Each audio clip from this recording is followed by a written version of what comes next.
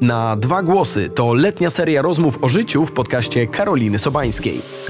Karolina oddaje stery nad rozmową i siada do dialogu z różnymi rozmówcami o przyjaźni, marzeniach, pracy i wartościach. Nowy odcinek czeka na Was w każdy poniedziałek lata. Podcast jest dostępny na wszystkich platformach streamingowych, a na YouTubie oraz Spotify dostaniecie go w wersji wideo. Odkąd pamiętam, jak byłam małą dziewczynką, to zadawałam sobie pytanie, czy to, co przytrafia się mi i ludziom w moim otoczeniu, to jest przypadek czy przeznaczenie. O. I myślę, że to jest mocne pytanie na start, ale ja teraz odpowiedziałabym chyba, że oba naraz. Tak. Też tak myślisz? Tak. A opowiesz nam, jak ty rozumiesz tę dynamikę? Znaczy myślałam, że ty zaczniesz, szczerze powiedziawszy, ale tak, w ogóle ostatnio wpadłam na to, że rzeczywiście my możemy i jednocześnie kreować swoją rzeczywistość i e, ulegać pewnego rodzaju przeznaczeniu. I podzieliłam się tą genialną myślą z moją terapeutką medycyny chińskiej. Ona mhm. powiedziała, Chińczycy na to wpadli tysiące lat temu. O proszę. Tak. Czyli po raz kolejny mamy do czynienia z pewnymi mądrościami, które są w naszej kulturze, może nie w naszej kulturze, ale w innych kulturach od dawna i my dopiero dochodzimy do tego, żeby to zaakceptować. Pewnie za tym podąży za ileś tam lat y, nauka i, I wszyscy, tak, i wszyscy będą już y, zgodni co do tego, że mamy tutaj i rolę przypadku i jakiś element losowy. Mam ci wytłumaczyć, jak y, tak, ja sobie, jak tak. ja do tego doszłam. Powiem Ci, zostawiłam to pytanie chyba na wiele lat i nie zastanawiałam się nad tym, ale myśląc o naszej rozmowie, zdałam sobie sprawę, że na to pytanie po prostu nie da się odpowiedzieć, bo te wszystkie siły pracują naraz. Czyli my mamy pewną sprawczość jako my, ale w momencie, kiedy każdy człowiek ze swoim zestawem narzędzi i przekonań działa, bo ma wolną wolę, o czym też często mm -hmm, mówisz, mm -hmm. no to jeżeli 8 miliardów ludzi w ten sposób operuje, nawet jeżeli jest to właśnie przeznaczenie czy jakiś program, no to ten element losowy jest nieunikniony, tak. bo jest za dużo zmiennych. Tak, absolutnie. I na przykład dla mnie to jest fascynujące, jednocześnie uwalniające, bo wiem, że nie mam aż takiej kontroli, że to nie jest tak, że mogę zawładnąć każdą decyzją i każdym rezultatem w moim życiu, ale też daje mi właśnie ten element takiej ekscytacji, pewnego zaufania, tego, że okej, okay, mam jakiś pomysł, jak bym chciała, żeby, żeby wyglądało, nie wiem, moja kariera, ale muszę oddać kontrolę i zobaczyć, co się wydarzy. Czyli mm. tutaj wątek życie to gra. Tak, absolutnie, absolutnie. Ja uważam, że my w ogóle e, to cały, ten cały koncept prawa przyciągania, manifestacji, to jest połączenie tego, co my robimy, z tym, co robi dla nas siła wyższa, jakkolwiek ją rozumiemy, ale tą siłą wyższą może być po prostu życie, może być pole kwantowe, może to być, jeżeli tak postrzegamy siłę wyższą Bóg, może to być wszechświat. Natomiast to jest tak naprawdę gra dwóch energii. Ja, człowiek i ta energia zewnętrzna. I rzeczywiście jest tak, że my mamy bardzo duży wpływ na to, jak wygląda nasze życie w takim szerokim kadrze. Mhm. My nie możemy sobie, tak naprawdę nie mamy wielkiego wpływu na to, jak wygląda każda jedna sekunda naszego życia, czy jak, jak nie wiem, dana, dany dzień przebiegnie tak naprawdę jeden do jednego. Oczywiście my mamy wpływ, bo możemy zdecydować, że chcemy, żeby, chcemy być w tym dniu spokojne, chcemy być sprawcze, chcemy się czuć w określony sposób, ale no nie mamy wpływu na to, że w danym momencie na przykład złamiemy obcas Mhm. No, czasami rzeczy się przydarzają, ale my mamy w szerokim kadrze wpływ na wszystko, mam wrażenie, w swoim życiu. To, jak moje życie z perspektywy roku będzie wyglądało, czy 10 lat, na to mam wpływ. To, czy ostatecznie będę miała taką karierę zawodową, czy inną, czy będę spełniona zawodowo, czy nie, czy będę w relacji szczęśliwej, romantycznej, czy nie, to zależy w całości ode mnie. Jestem absolutnie o tym przekonana.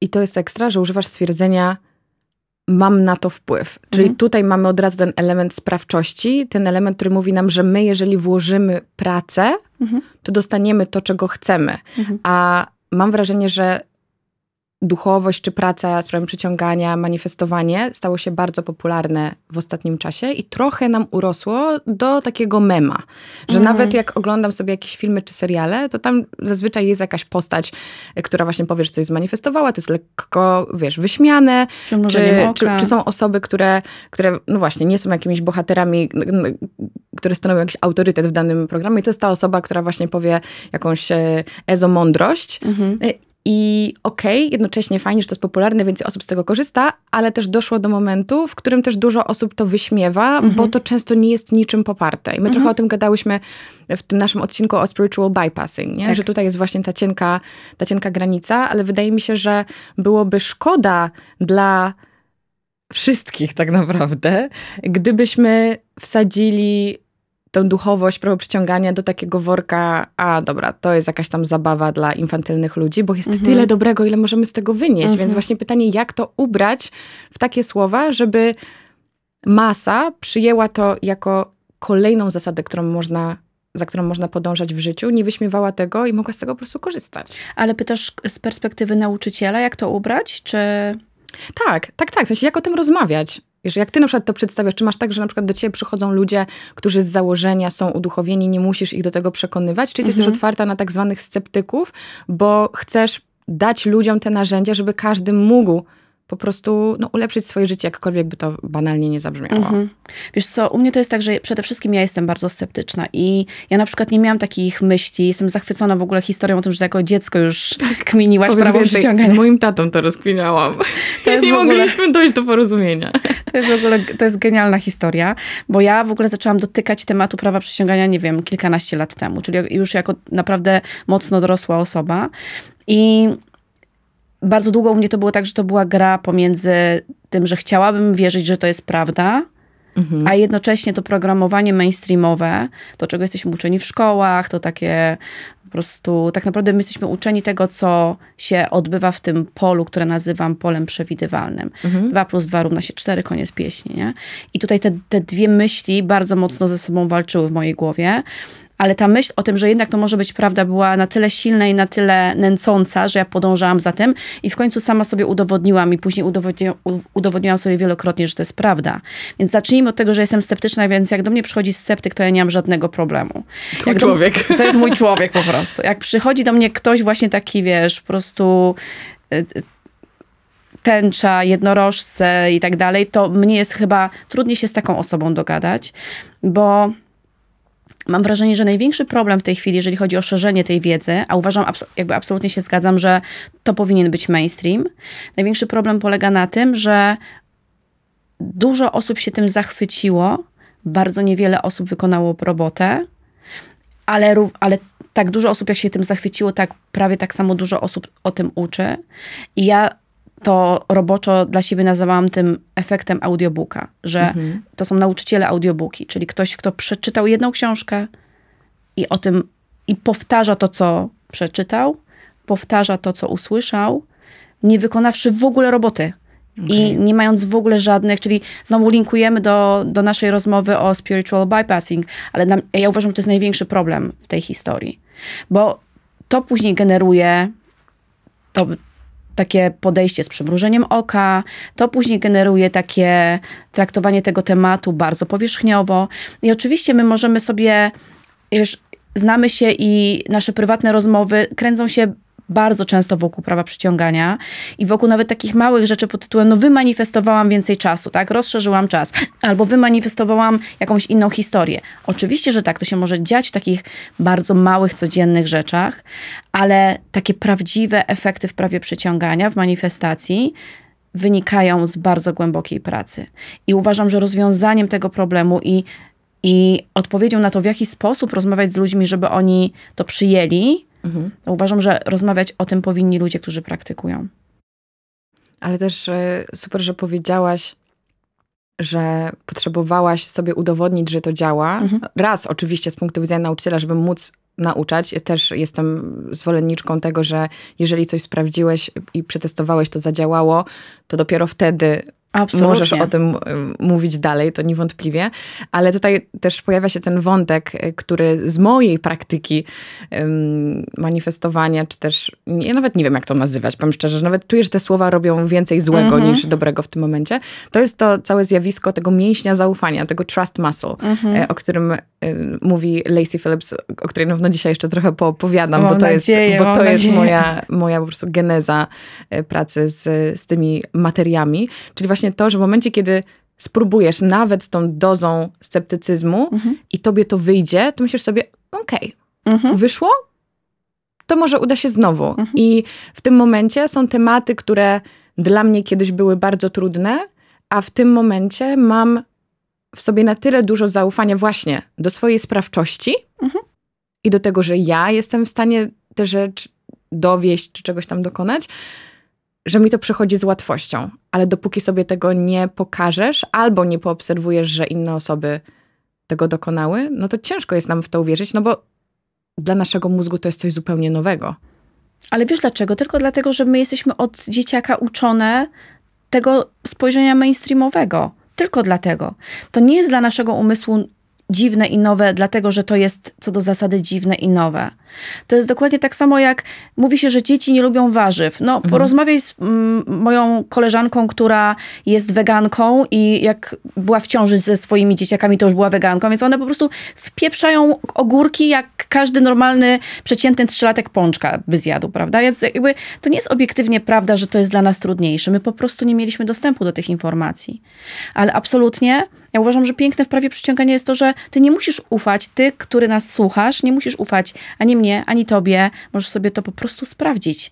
I nie sprawdzić na zasadzie, chcę miliona dolarów i teraz siedzę w kwiecie lotosu i milion dolarów spada na moje kolana. Możesz to sprawdzić na małych rzeczach, na małych sytuacjach, które, od których nie zależy twoje życie. No właśnie o to mi też chodzi, że zazwyczaj przykłady, które mamy w mainstreamie czy w jakichś filmach mówiących o prawie przyciągania, to są bardzo y, materialne. Nie chcę mówić, że próżne, no bo w sumie jakby wiesz, każdy ma takie potrzeby, jakie ma i takie y, pragnienia, jakie ma, więc też jakby nie chcę się tego zupełnie oceniać. Ale to są zazwyczaj rzeczy materialne. Jest to przedstawione w taki sposób, że wymyśliłam sobie białego Cadillaca, więc sobie go wydrukowałam, powiesiłam nad łóżkiem i codziennie wieczorem mówię, że go mam. Czy, to jest twoje, czy to jest twoje marzenie? Nie, nie, to jest po prostu mój temat. I, I ja po prostu siedzę, patrzę, powtarzam, że to już jest mój Cadillac, a jeszcze najlepiej to za pieniądze, których nie mam, sobie wynajmę tego Cadillaca i będę nim jeździć i pokażę światu, że to jest właśnie ta energia i, i za chwilę y, on po prostu zjawi się w moim życiu, nie wiedzieć w jaki sposób, a ja w tym czasie nie zrobiłam nic. Mhm. No czy to zadziała? A czemu to jest twój temat?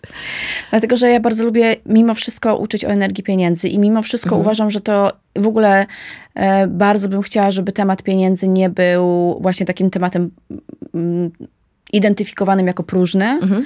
E, uważam, że jest tak wiele osób, nie wiem, czy można przeklinać w No tym proszę, projekcie, zapraszam. zjebanych z pieniędzmi, że właśnie pieniądze w rękach zajebistych ludzi powinny się znajdować jak najczęściej i w jak największej ilości. Uważam, że manifestowanie pieniędzy jest fenomenalną rzeczą. Uważam, że praca nad manifestowaniem pieniędzy to jest taki nauczyciel jak, jak mało który, dlatego że to jakby my w każdym temacie i zresztą odpowiadając trochę i linkując do tego, o czym mówiłaś, o, o Cadillacu i o, o tych praktykach, my manifestujemy z tego, kim jesteśmy. My przyciągamy poprzez to, kim jesteśmy i w co wierzymy, w sensie co jest wdrukowane prawie w naszą podświadomość, a nie z tego, jakie my fizyczne kroki wykonujemy. Czy my wydrukujemy sobie to zdjęcie, czy nie? Czy my będziemy jeździć tym Cadillaciem, czy nie? Jak mnie czasami ludzie pytają, no dobra, ale czy ja na przykład powinnam zrobić to i to? To zależy. W zależności od tego, co ci to robi, jak ty się wtedy czujesz. Jak ty jadąc tym Cadillaciem rzeczywiście, tym wynajętym, poczujesz na moment to, że to jest moje, mogę to mieć, no to to jest super pomysł. Ale jeżeli robisz to tylko po to, żeby znajomi cię widzieli, jak jedziesz tym Cadillaciem i żeby w ich głowach stworzyć ten obraz, to szkoda twoich pieniędzy na, na ten wynajem, prawda?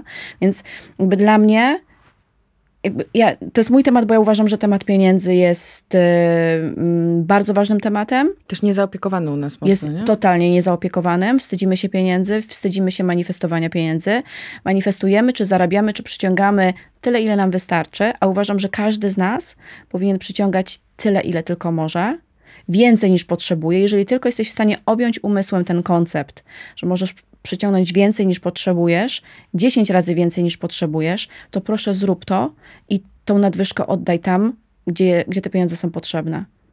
Biorąc pod uwagę, że jest to nasz y, dwumilionowy odcinek wspólny, to oczywiście też możemy podlinkować do rozmowy o y, przyciąganiu pieniędzy, którą nagrałyśmy w 2020 roku, z tego co pamiętam, ale bardzo ważny wątek padł, wydaje mi się, czyli właśnie to, że też istnieje takie przekonanie, w ogóle czuję, że my dzisiaj będziemy po prostu dementować jakieś mity tak. w tym, e, Proszę w tym bardzo, świecie. to.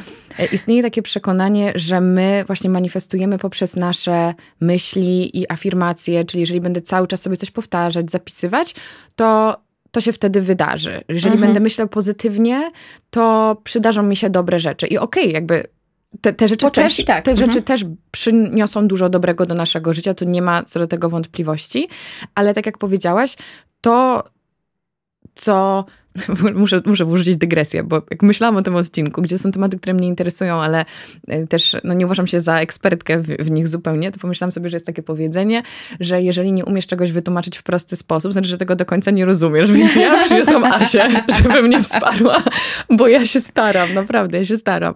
To czekajcie, tutaj wejdę w słowo. No. Ej, już w, naprawdę najwyższy czas, żebyś zaczęła myśleć o sobie, o sobie jako o ekspertce w tej dziedzinie, bo jesteś jedną z absolutnie jakby top ten dla mnie najbardziej najbardziej praktykujących osób, jeśli chodzi o prawo przyciągania, jakie znam. Dziękuję. Dobrze, teraz więc, już mi lepiej. Więc niech to wybrzmi. więc wracając do mojego wywodu, to rzeczywiście jest tak, że my ja to mówię też e, z mojej, z mojej wiedzy, którą mam właśnie od Lacey Phillips sprzed, sprzed lat, no i którą cały czas staram się aktualizować. To są wszystko jakby programy, które my wchłaniamy od tam 0 do 7 lat, ale ona też mówi, że tam do, powiedzmy do, do 14 roku życia mhm. jeszcze jesteśmy taką gąbką chłonną, czyli mhm. programy, mam na myśli wszystko to, co obserwujemy w naszym otoczeniu, mhm. czy wśród opiekunów, czy z, z mediów, z, od rówieśników i ta historia, którą my sobie opowiemy wtedy, czyli ten system wartości i te wszystkie przekonania, które nam się wtedy ugruntują, one stanowią dorosłego człowieka, jakim jest teraz Karolina i Asia. Mhm. I nam się wydaje, że mówimy na przykład, że bardzo bym chciała pracować przez 4 godziny w tygodniu, ale przez całe życie oglądaliśmy naszych rodziców, którzy pracują non-stop mhm. I, I, wiemy, że jeżeli chcemy mieć spoko życie, jeździć na wakacje, to trzeba pracować 12 godzin na dobę. W związku z tym jest pewien rozstrzał między mhm. tym, co mamy wryte w naszą podświadomość versus to, co teraz mówimy, że tego, że tego strasznie pragniemy. I że mhm. właśnie takie pracowanie na powierzchni nie jest do końca e, skuteczne. Ale z drugiej strony wiem, że ty na przykład rekomendujesz też takie praktyki związane z afirmacjami i z tym, co jest do zrobienia dzisiaj, z tym, co myślimy. Mhm. Więc jak, jak byś to zbalansowała? W sensie, na ile korzystać z tych rzeczy, ale w którym momencie trzeba pogrzebać głębiej? Ale odpowiesz mi też na to pytanie potem? A no spoko. Bo, wiesz, Wiadomo, bo... że mam odpowiedź. Dobrze, to ja, to ja najpierw. Więc tak, po pierwsze, bardzo ważne jest to, co powiedziałeś, że to, co obserwujemy, kiedy jesteśmy dziećmi, nie tylko to, czego doświadczamy, nas kształtuje. Bo często mamy takie myślenie, okej, okay, ale mnie się nic takiego nie wydarzyło, ale w domu były pieniądze, myśmy mieli na wszystko, jakby wszystko było, dlaczego ja nagle mam trudność, żeby przyciągać, nie? Ale byłaś świadkiem rozmów rodziców na przykład. Tobie się nic nie wydarzało, ale byłaś świadkiem byłaś świadkiem, jak dwie osoby nawet nie do ciebie coś mówią, tylko do siebie nawzajem, nie? Czy właśnie koleżanka w szkole czegoś doświadczała i ty byłaś obok, więc to, jak chłonny jest umysł dziecka, to jak i też jak bez filtra przejmuje wszystko, bo dorosła osoba będzie w stanie oddzielić, ok, to są czyjeś problemy, nie moje, one mnie nie, nie dotyczą. A dziecko po prostu programuje się jeden do jednego, więc to jest też ważne, żebyśmy pamiętali, mówię to z własnego doświadczenia, bo ja bardzo długo się zastanawiałam, czemu ja na przykład bardzo, bardzo długie lata dorosłego życia miałam trudność ze sprowadzaniem pieniędzy do, do, swojego, do swojej przestrzeni. Bo właśnie wzrosłam w takim domu, w którym te pieniądze były, wszystko było ok, nie? No ale byłam świadkiem pewnych rozmów. Więc jakby to jest ważne. Mhm. Natomiast to, co jakby ja uważam, że tak, afirmacji i taka praca na powierzchni to jest bardzo dobry początek. Ona jest również ważna później, ale my od tego możemy zacząć, bo jeżeli ja sobie zaczynam afirmować, ok, mam te pieniądze, czyli decyduję o tym, że chcę, chcę mieć te pieniądze, albo związek romantyczny, bo nie ograniczajmy się w tych manifestacjach, mhm. prawda? Albo awans w pracy. Albo awans w pracy, albo jakąś relację ze sobą inną niż mam w tej chwili, to, to jeżeli ja zaczynam sobie mówić wprost, to jest to, czego ja chcę, i teraz ubieram to w afirmację, czyli mówię sobie, ok, to jest to, czego, to jest to, co mam, to, to jest mój pierwszy moment, w którym zaczynam wyłapywać ograniczające przekonania. Mhm. Bo nagle mam myśl, niby jak. Takim jak ja to się nie przydarza. To jest dla mnie niemożliwe. W Polsce to jest niemożliwe. I tak dalej, i tak mhm. dalej, i tak dalej. Zaczynają się, to jest pierwsza, pierwsza warstwa, w której się pojawiają te ograniczające przekonania, nad którymi ja mogę pracować. De facto przychodzi taki moment, e, oczywiście mam nadzieję, że opowiesz o tej głębokiej pracy, bo wiem, że tutaj masz dużo doświadczenia e, z tymi narzędziami mhm. od Lacey i tak dalej, więc jestem bardzo ciekawa, jak w gotowości. jesteś w gotowości, także 3, 2, 1, daj mi tylko dokończyć zdanie. Natomiast ja uważam, że przychodzi taki moment, że decydujesz o tym, czego chcesz, pojawia się myśl, która ci mówi, że nie, ale ty już wiesz, jak to działa i ty dosłownie patrzysz na tę myśl i mówisz, okej, okay, kolejny, do widzenia. Mhm. Już jakby nie pracujesz nad tym w ogóle, bo ty już wiesz, że każda z tych myśli w taki czy inny sposób jest kłamstwem. Że albo jest kłamstwem w ogóle, jest po prostu jedną z wersji rzeczywistości, na przykład w Polsce się nie da zarobić. Okej, okay, dam ci 20 tysięcy przykładów, że jednak się da, nie? Więc to jest po prostu kłamstwo. Albo to jest kłamstwo, w cudzysłowie, kłamstwo na zasadzie, E, nie wiem, chciałabym robić podcast, ale boję się wystąpień publicznych, boję się nagrywać. No to nie jest kłamstwo, że się boisz nagrywać, mhm. ale to nie jest ostateczny powód, żeby tego nie robić, bo możesz sobie pomóc, możesz ten, ten strach wyłączyć. Nie? Ja bym jeszcze dodała do tego, co mówiłaś o obserwowaniu otoczenia, że nawet to nie zawsze muszą być rozmowy rodziców, ale nawet ich przekonania, które Absolutnie. oni niewerbalnie wyrażają poprzez to, że my jako dzieci no też odczuwamy ich lęk, niepokój. Tak. I w takich małych sytuacjach, no ja po prostu pracując też właśnie ze swoimi przekonaniami już lata temu, wyłapałam, ile takich historii mam wpojonych, mimo że nikt nigdy nie usiadł ze mną i tego nie powiedział, moi rodzice o tym nie rozmawiali, Absolutnie. ale ja po prostu jestem jeden do jednego moim tatą w tej i tej kwestii. Myślę tak. sobie, o wow, jakby tak. nie zdawałam sobie z tego sprawy.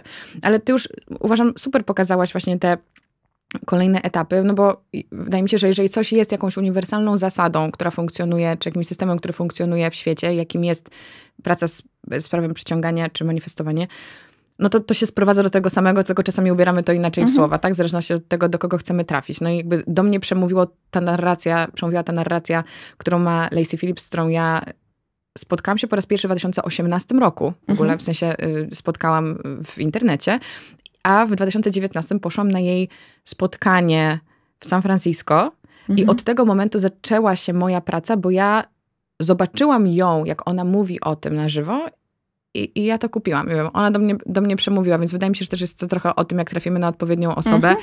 I to, w jaki sposób ona dobierała słowa i to, że miała takie podejście też mocno osadzające się właśnie w psychologii, to dla mnie jako też osoby sceptycznej, która mhm. zastanawiała się, co prawda, czy przypadek, czy przeznaczenie, e, ale, ale też jakby te opozycyjne siły we mnie mocno pracowały. No a jeśli chodzi o samą, samą tą pracę głęboką, to generalnie ja bardzo lubię opowiadać o tym wzorku, tak ona to nazywa Formula, z którego ona mhm. korzysta w, w, swojej pracy. To jest platforma, która się nazywa To Be Magnetic. Ja też o niej mówiłam wiele razy, tylko właśnie nigdy nie zgłębiłam tego tematu, tylko bardziej ludzi do tego odsyłałam, ale wydaje mi się, że, że to jest wartościowe, żeby o tym opowiedzieć. I właśnie to jest y, dokładnie to, co ty powiedziałaś. Czyli po pierwsze, wybieramy sobie, czego chcemy. Tutaj mhm. twój słynny cytat. Zdecyduj, czego do cholery chcesz. Mhm.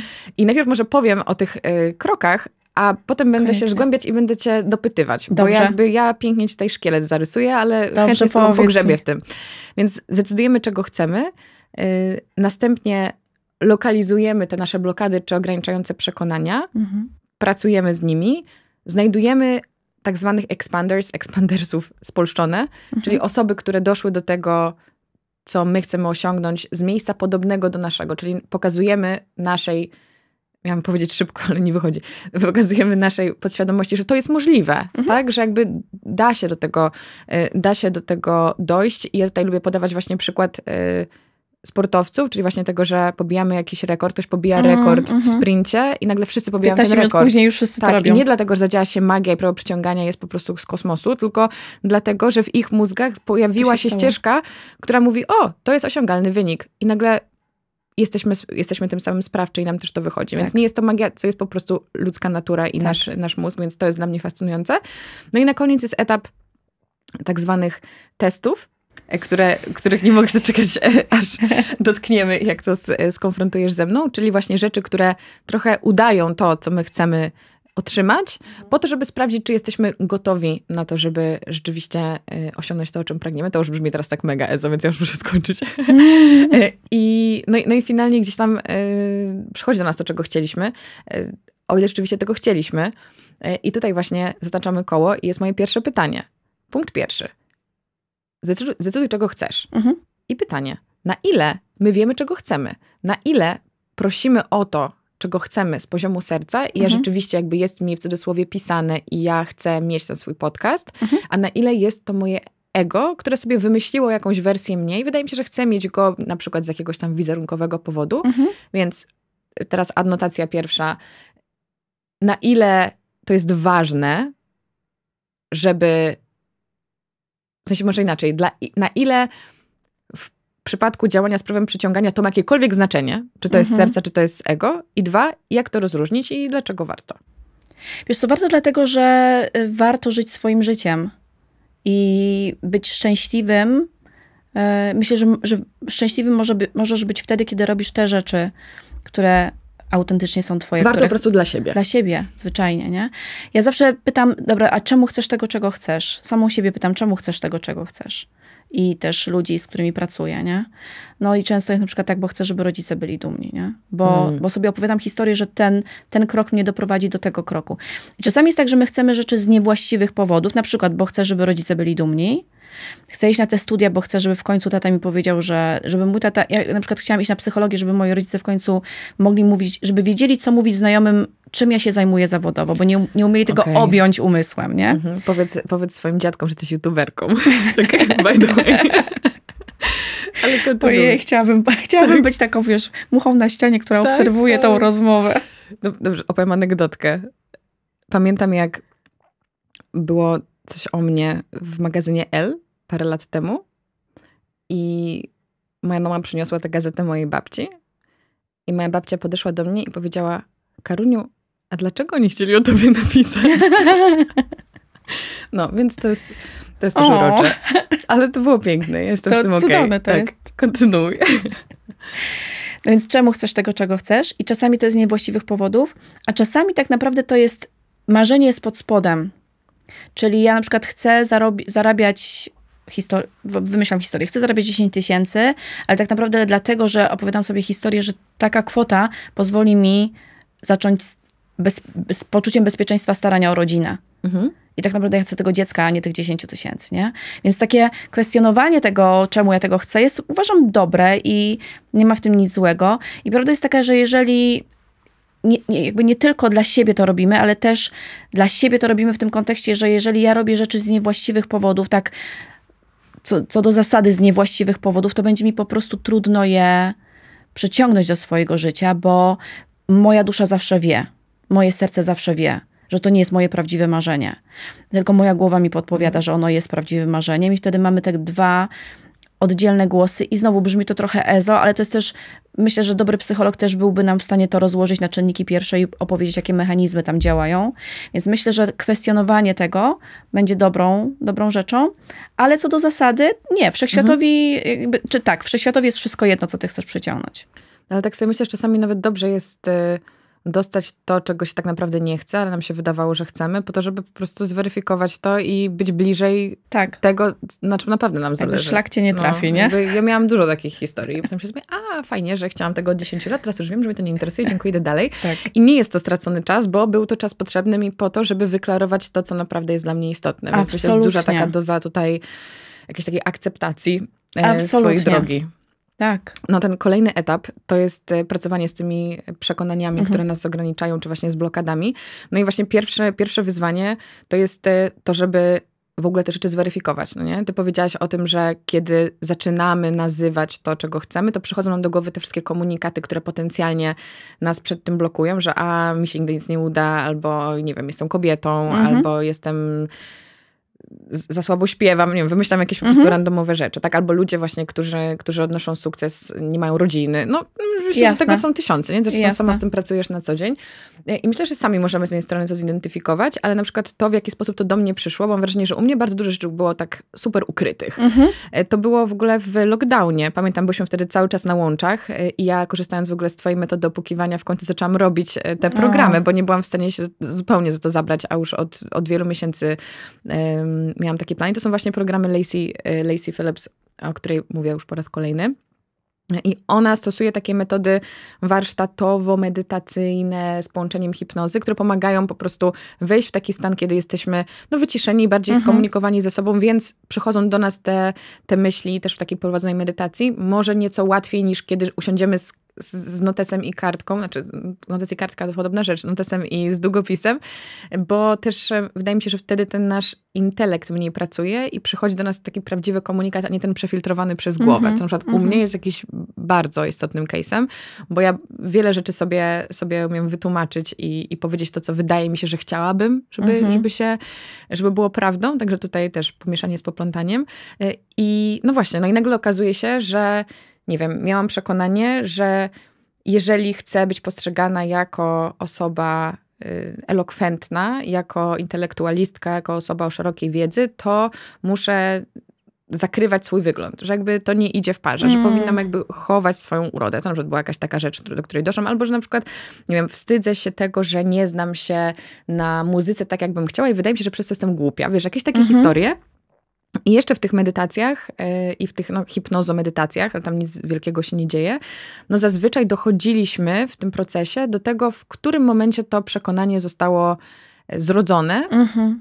po to, żeby to w jakiś sposób zmienić, żeby zrozumieć, że ono nie jest twoje co do tak, zasady, tak, tylko że je wziąłeś tak, odrzucić. Mhm. Ale powiem ci, wiesz, ja też od lat nie stosowałam tych praktyk i zastanawiam się z twojego podwórka, czy ty masz jakieś właśnie inne sposoby na to, że w momencie, kiedy odkryjemy, że mamy taką ograniczającą myśl, na przykład, że, no nie wiem, też miałam coś takiego, że bałam się odezwać publicznie, bo jeżeli powiem coś, co jest nie do końca adekwatne, mhm. no to jestem głupia. Jakby to, to, to, jest jakaś taka rzecz, która mi się przypomniała. Też mam taką super anegdotkę, ale nie będę chyba teraz... Powiedz, powiedz, koniecznie powiedz. To jest grube. To jest, to, jest, to jest po prostu mega śmieszne.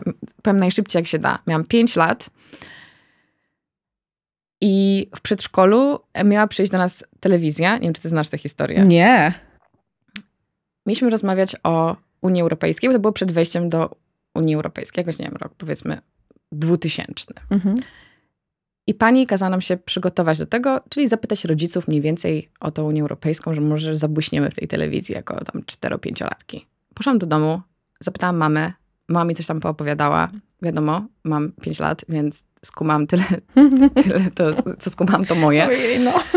Przyszła telewizja, kamera na mnie i jest pytanie, y, no Karolinko, powiedz, czy wiesz, co to jest Unia Europejska? A ja na to, Unia Europejska to Związek Radziecki. O! No więc temat, jakby nikt się nic nie odezwał. Ja wróciłam do domu, no i opowiadam mojej mamie tę historię. No i moja mama zareagowała bardzo emocjonalnie, że nie, że nic takiego nie powiedziała i jakby, no wiesz, jakby nie wytłumaczyła mi tego na zasadzie, słuchaj, to jeszcze raz ci opowiem, o co chodzi, mhm. tylko ja poczułam, że o, o, padła jakaś mhm. gafa, bo mama powiedziała mi prawdę, a ja coś przekręciłam. Mhm. No i właśnie w takiej medytacji, wracając, znaczy w sensie pozdrawiam mamę, jakby wiadomo, o, najlepsze intencje były jasne, wtedy. Jasne, jasne. Um, i wiesz, takiej medytacji do mnie przyszło, że o wow, jakby takie małe rzeczy mhm. sprawiły, że ja się potem bałam podnieść rękę na zajęciach, tak jakby mnie wszyscy nagle mieli ocenić. Mhm. E, no do tej pory, jak o tym mówię, to jestem taka, czuję, że jestem taka właśnie e, zestresowana, jakbym rzeczywiście popełniła jakąś straszną, jakiś straszny grzech, a to jest po prostu jakaś tam, nie wiem, nie, nawet nic to nie musi być, nawet nie chcę tego nazywać. No więc pytanie brzmi, jak z takimi rzeczami pracować, jak je przeprogramowywać i czy rzeczywiście wystarczy powiedzieć, to już nie jest moja historia, idę dalej. To zależy. To o, zależy. Z... tak. Tell me. Powinna mieć tutaj taką kartkę. To zależy. To zależy, z kim rozmawiasz, to zależy, kto ma jaką wrażliwość, to, to zależy od wielu, wielu czynników. Po prostu musimy obserwować siebie. Jeżeli jest tak, że uświadomiłaś sobie, że masz taką myśl, że masz taki program, że taka sytuacja się wydarzyła i że ona głęboko w tobie tkwi i potrafisz w, w tym momencie sobie powiedzieć, ok, no ale to nie jest jakby, ja to, ja to przeżywam jak ta pięciolatka wciąż, no bo to ta pięciolatka doświadczyła tych emocji, ale teraz jako dorosła kobieta mogę tą pięciolatkę w myślach przytulić, powiedzieć dzieciaku, no źle to, nie, to nie tak, nie, jeszcze raz ci wytłumaczę. Jakby, wiesz, być tą mamą dla niej, jakby robić cokolwiek, ale też zrozumieć, że okej, okay, ale to, to nie jest obiektywna prawda o tobie, to nie jest definiujące. Czy możemy takie rzeczy też e, przepracować w terapii? Absolutnie tak. No właśnie, bo to mi się wydaje chyba najsensowniejszym rozwiązaniem z tego wszystkiego. Mam wrażenie, że tak. ja też zostałam z wieloma takimi rozgrzebanymi tematami i to było zanim y, poszłam na terapię i wydaje mi się, że byłoby mi o wiele, yy, może nie tyle łatwiej, bo to nie chodzi o poziom trudności, ale może bezpieczniej bym się czuła z, ze swoimi emocjami, z tym, co przeżywam, jakby ktoś mnie przez to przeprowadzał. Nie? Znaczy, wiesz co, uważam, że absolutnie, jeżeli ktoś y, ma przestrzeń, jest otwarty na terapię, to to jest numer jeden narzędzie.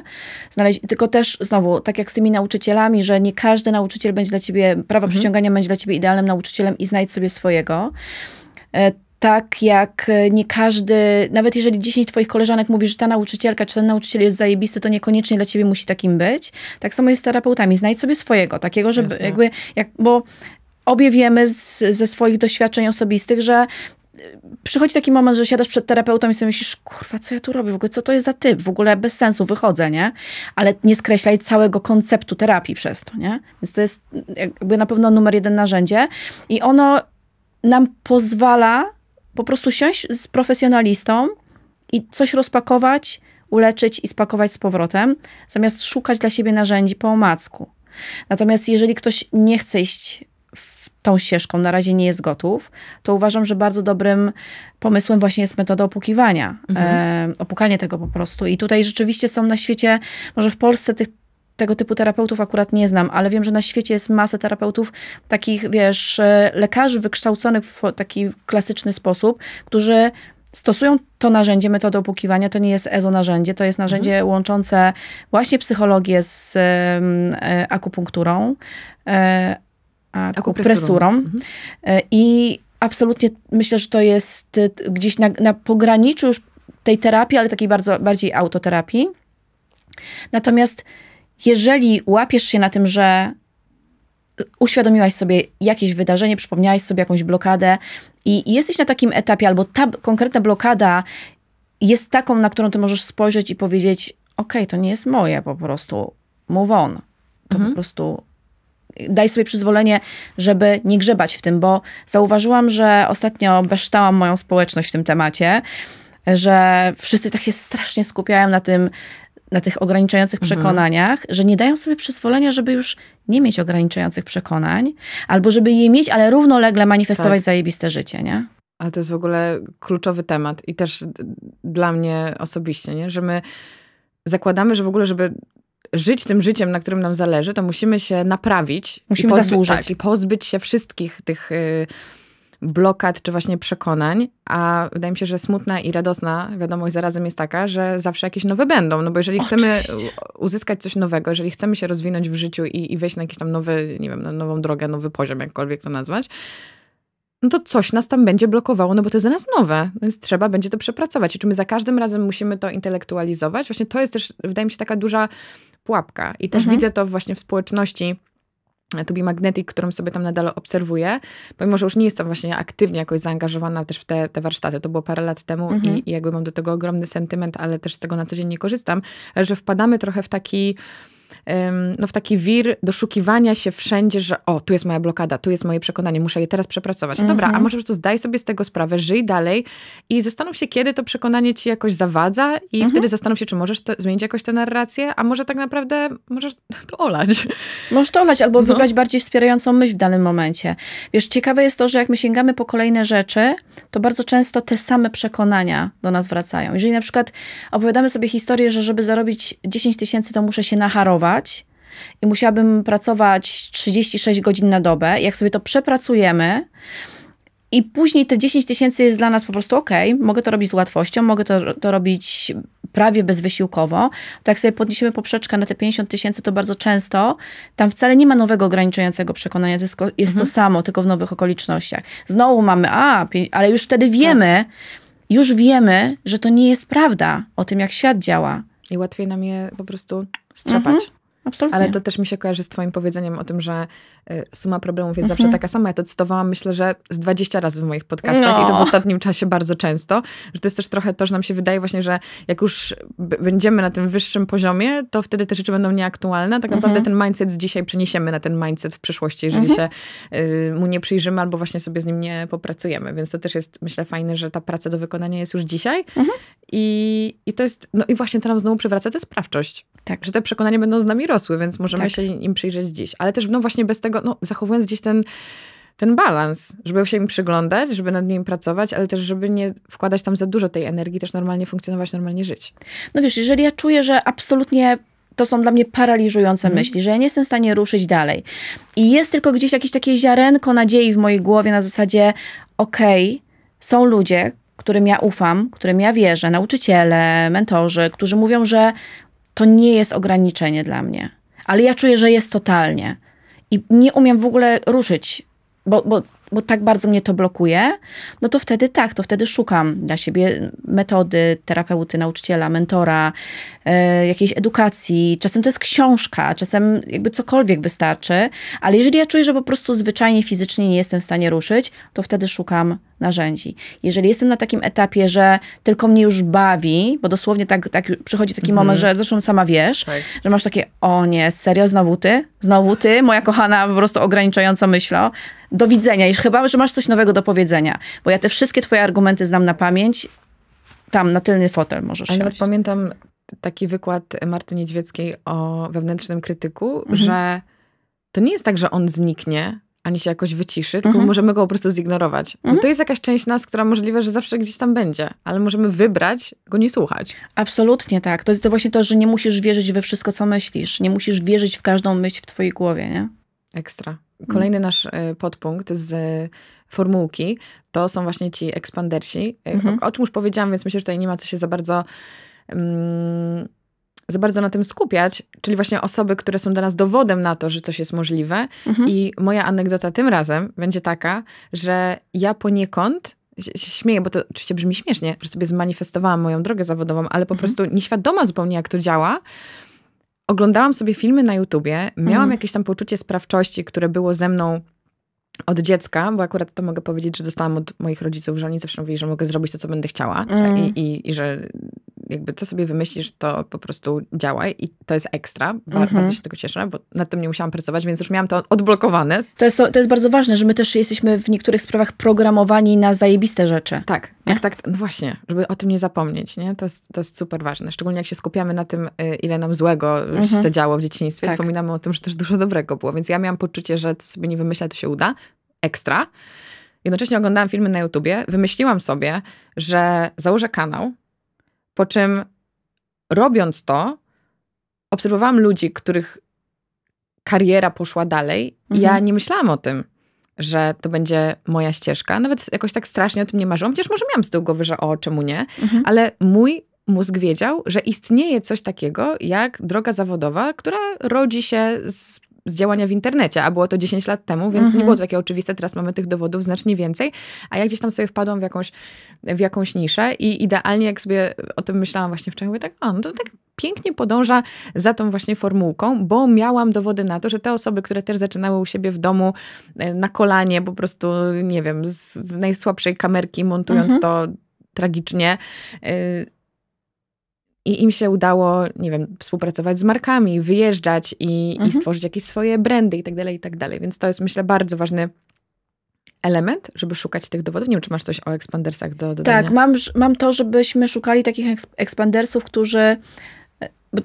Istotne jest to, żeby to była osoba, z którą ja się mogę utożsamiać. Na przykład dla Tak. mnie e, Tak, tak, tak. ekspandersem nie będzie na przykład Tony Robbins, chociaż osiągnął wielki sukces spektakularny w coachingu. Mhm. Ale ja nie jestem w stanie się z nim utożsamić, więc znajdujmy sobie takich ludzi, Tak, którzy zaczęli z podobnego miejsca. z- zaczęli z podobnego miejsca, są podobną osobą i są teraz w tym miejscu, w którym ty chcesz być i niech to nie będzie osoba, która cię wkurwia. Bo jeżeli sobie na nią patrzysz, to myślisz, bez sensu, uprzywilejowana, taka śmaka, no to z jednej strony po pierwsze to nie jest dla ciebie dobry ekspander, Tak. ale z drugiej strony to też jest dla ciebie e, taki trop twoich Tak. ograniczających przekonań, No właśnie nie? chciałam powiedzieć, że to jest dobre. Właśnie Mhm. ja też jak zmieniłam sobie trochę narrację wokół tych triggerów, Mhm. to pomyślałam sobie, o, dzięki. No, Skoro rusza mnie czyjś potencjalny sukces, Mhm. to znaczy, że coś mi we mnie przeszkadza, Mhm. że nie jestem w stanie tej osoby wspierać. I to jest właśnie ta poszlaka, żeby dojść do tego, jak my możemy popracować nad tym, żeby też mieć to. Bo ewidentnie, skoro ktoś nas wkurza, to znaczy, że ma coś, czego my nie mamy. Mhm. Ekstra. No to tyle miałam do dodania. Powiedz mi, czy, ty, czy my teraz idziemy w testy? Czy już jest ten moment? Tak, to jest Dobrze. ten moment. Opowiedz No, mi ja- o testach. Nie, to nie powiedz o testach, bo ja y, wierzę w testy i uważam, że dostajemy często coś, co jest podobne do tego, co poprosimy. Na przykład to będzie jakaś współpraca zawodowa i ona no, jest praktycznie naszym spełnieniem marzeń, Mhm. ale nie ma jakiejś fundamentalnej rzeczy typu, że no ta... Nie wiem, to miało być latem, a jest zimą i w tym czasie nie pojadę z rodziną na wakacje. Ale dobra, to przestrasznie o tym marzyłam, tak? Albo Mhm. no, wymyśliłam teraz coś tak totalnie trywialnego, ale wiesz, że to też tyczy się no, każdej sfery życia, tak i pracy, i, i relacji, czy, czy finansów. No więc y, ja uważam, że testy są, ym, że, testy, że testy są, kropka, ale wiem, że jesteś sceptyczna, więc powiedz. Powiedz, dlaczego warto te testy brać tak z przymrużeniem oka. Nie, nie, nie. Ja uważam, że ten mechanizm, o którym ty mówisz, absolutnie jest. Okej. Tylko ja go nie Uf. nazywam testem. Bo dla mnie No tak, powiedzenie test. to, no. Tak. Jakby ja to nazywam cudami zwiastującymi, i, ale absolutnie uważam, że z jednej strony em, zgadzam się z tym, że istnieje ten mechanizm, zaraz powiem więcej, ale nie uważam, że nas wszechświat testuje. Nie uważam, że ktokolwiek nas sprawdza, czy my jesteśmy gotowe. Mhm. Nie uważam, że to jest tak, że ten duży wszechświat no, testuje, sprawdza ciebie. To my sobie te testy robimy. Nikt z zewnątrz nam tego nie robi.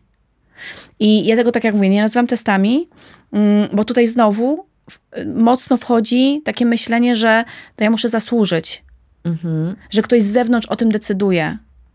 Ja się na przykład złapałam na tym, że w mojej społeczności ludzie piszą afirmacje po to, żeby zasłużyć. W ogóle nie używają afirmacji tak, jak należy ich używać. My piszemy afirmacje, czy, czy powtarzamy sobie je w głowie po to, żeby się umieścić w tym stanie emocjonalnym, jakby to już było, żeby się poczuć, jakby to już było. A my często na przykład afirmacje piszemy, jakbyśmy klepali pacierz, też Okej. na zasadzie bez połączenia z tymi słowami, nie? Więc tutaj to mnie bardzo triggeruje, ale też totalnie, zawsze od lat jak rozmawiamy, to ja mówię cuda zwiastujące, a ty mówisz testy Mhm, i daję wszystkim totalną wolność, czy ona nie jest moja, żeby komuś dawać, ale zostawiam tę wolność, żeby każdy to rozumiał po swojemu i też uważam, że jeżeli dla kogoś ta narracja testowa jest y, dobrą narracją i taką wspierającą, totalnie okej. Dla mnie to są tak zwane cuda zwiastujące, czyli nieidealne wersje naszego marzenia, którym nasze zadanie jest takie, żeby powiedzieć im dziękuję, ale nie dziękuję. Mhm. Bo i uważam, że to jest tak, że my w ogóle przyciągamy z tego, kim się stajemy. Że tak naprawdę największa rzecz, która powoduje, że nagle rzeczy, które były dla nas totalnie niedostępne, dzisiaj są oczywistością, to jest zmiana tożsamości. My stajemy się kimś, dla kogo oczywistym jest to, że jest w zajebistym, szczęśliwym związku. Stajemy się kimś, dla kogo oczywistym jest to, że czy ja coś robię, czy nie robię, co, co miesiąc 50 tysięcy ląduje na moim koncie. Stajemy się taką osobą.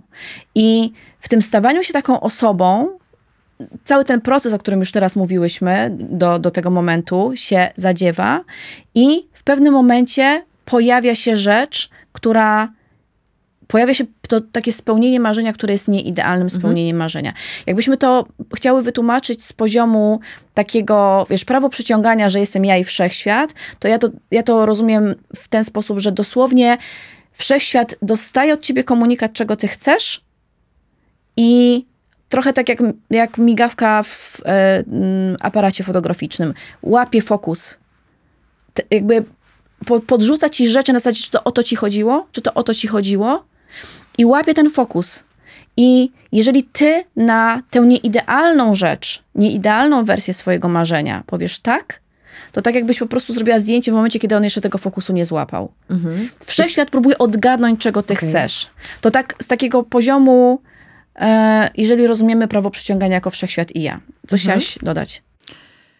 Wiesz co, chciałam dodać, czy to nie jest tak, że my się godzimy na ten moment, kiedy zobaczymy już coś, co jest prawie tym, czego chcemy, Mhm. właśnie z takiego poziomu lęku, że to jest takie Tak. na zasadzie, ja, ja mogę podać przykład mieszkania, bo to, Mhm. bo to jest coś, co, co udaje mi się manifestować bardzo dobrze, to nie znaczy, że łatwo, bo Mhm. dużo mnie to kosztuje właśnie pracę nad tym, żeby odpuścić i poczekać na to, czego naprawdę chcę. Mhm. Ale niejednokrotnie, kiedy właśnie czuję, że to jest trudne, żeby znaleźć mieszkanie, że takie, którego szukam, na pewno jest w ogóle poza moim zasięgiem i w ogóle takich mieszkań nie ma i na pewno nie od zaraz i wiesz, wszystkie, Mhm. wszystkie te lęki. Mhm. W momencie, kiedy pojawia się coś, co jest bardzo fajne, mimo że nie spełnia do końca tych e, wytycznych, to mam takie uczucie, że dobra, może to wezmę i odetchnę z ulgą. I Mhm. wtedy to jest ten moment, kiedy właśnie biorę wdech, mówię, to nie jest to, czego chciałam i wierzę, że dostanę takie mieszkanie, o jakim marzę. Ale to jest dla mnie strasznie trudne za każdym razem. Wiesz co, ja ci dam przykład z pieniędzy i ze związku, No. bo to jest tak.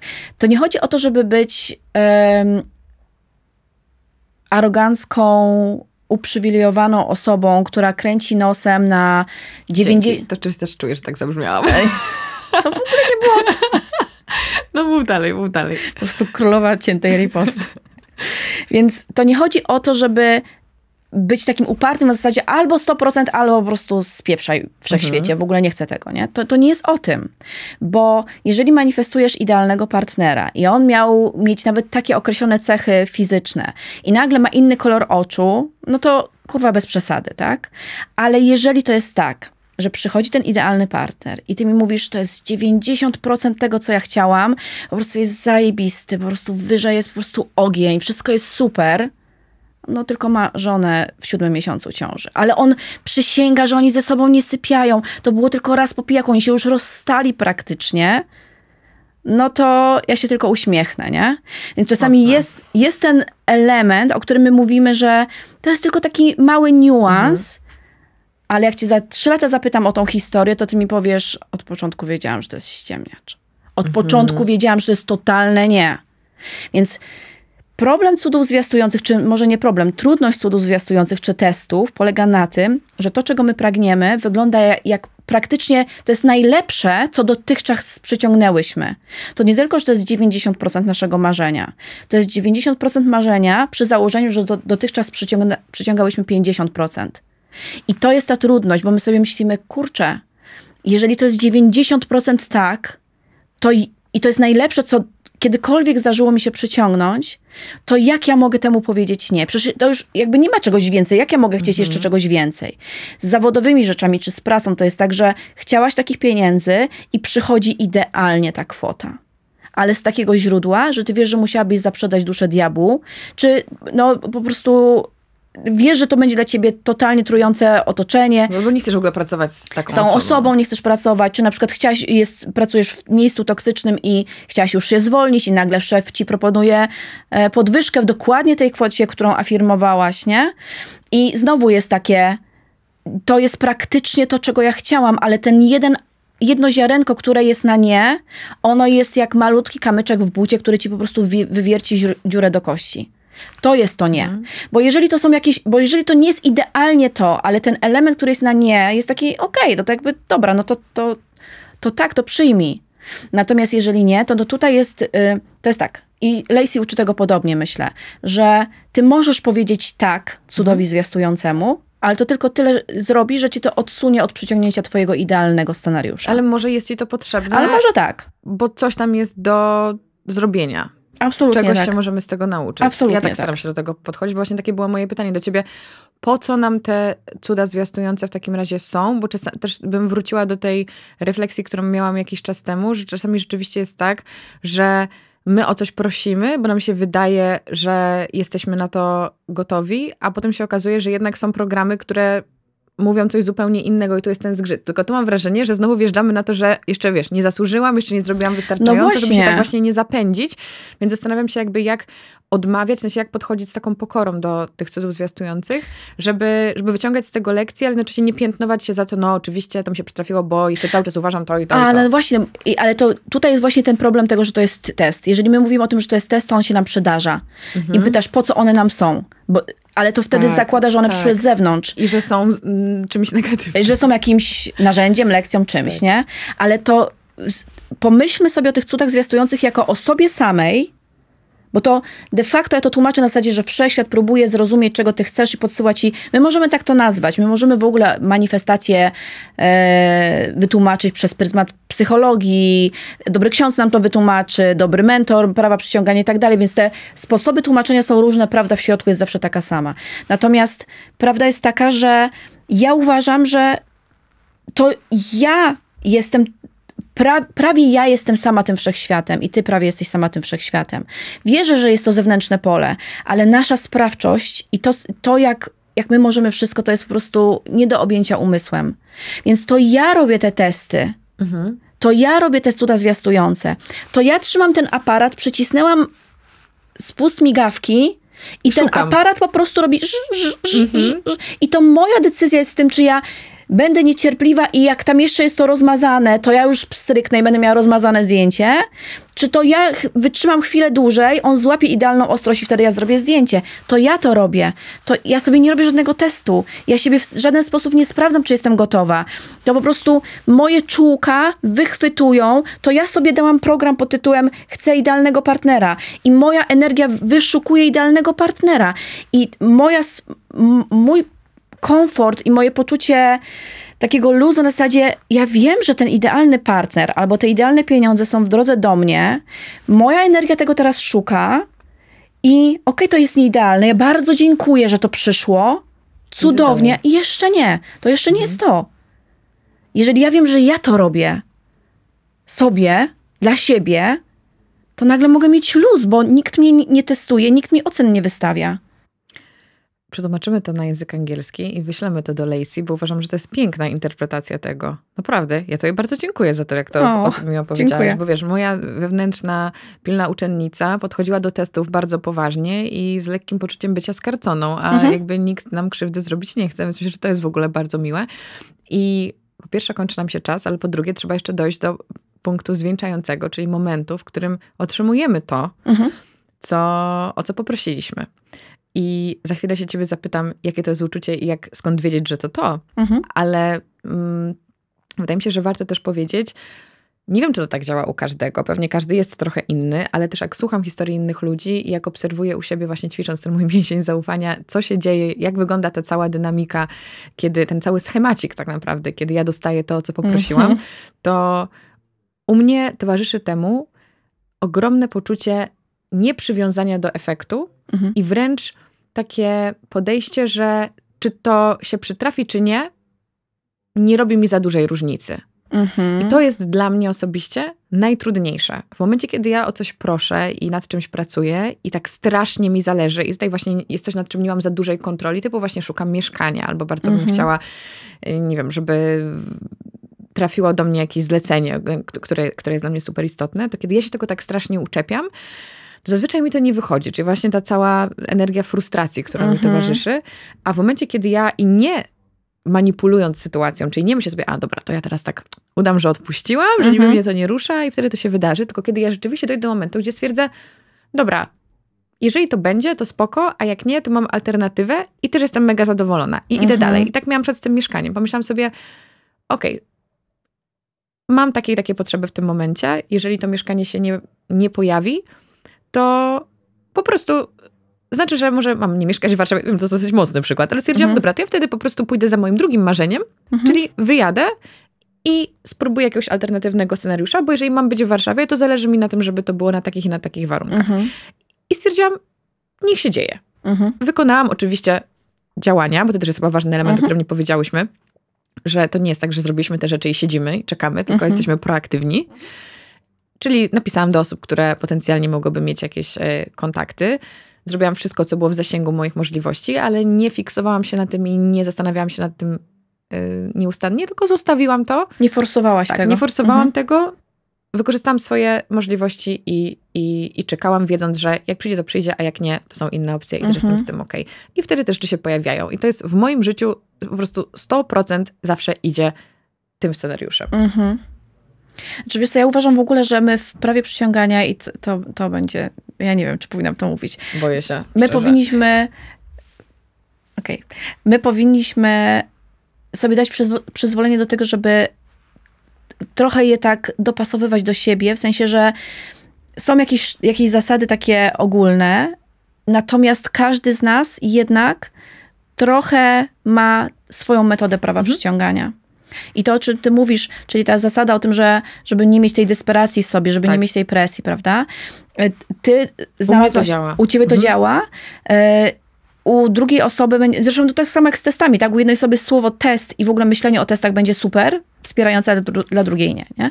Więc dajmy sobie też przyzwolenie, żeby trochę to było nasze, żebyśmy do, próbowali różnych metod i dopasowywali to do siebie. Natomiast ja uważam, że um, to u mnie to wygląda w ten sposób, że ja pozwalam sobie chcieć bardzo i jednocześnie przypominam sobie o tym, że jeżeli to się nie wydarzy, to, to nie jest dla mnie zagrożenie życia. Mhm. To nie, szlak mnie nie trafi. I, po, I mam wielką wiarę, ja osobiście, moja metoda jest taka, że odłączam od tego aspekt czasu. Wiadomo, że jak ty szukasz mieszkania i to jest dla ciebie albo się wyprowadzam ze starego mieszkania do nowego w Warszawie, albo muszę gdzieś indziej się wyprowadzić, no to tutaj jest ta presja czasu, ale dla mnie na przykład, jeżeli tylko mogę sobie na to pozwolić, to zdejmuję presję czasu, bo ja zauważyłam, że na przykład u mnie presja czasu była obniżającą mhm. E, efekty że jak sobie założyłam, że to się ma, ma, wydarzyć do końca tego miesiąca, no to już po prostu było, e, no był ten aspekt presji. Jeżeli zdejmuję presję czasu i pozwalam sobie chcieć bardzo i jednocześnie rozumiem i pamiętam, że ok, chciałabym mieć miesiące, w których zarabiam 200 tysięcy i chciałabym, żeby to już był ten miesiąc, ale wiem, że jeżeli to się nie wydarzy w tym miesiącu, to to się wydarzy w którymś innym miesiącu, to ten, ten balans energetyczny robi mi najlepsze efekty.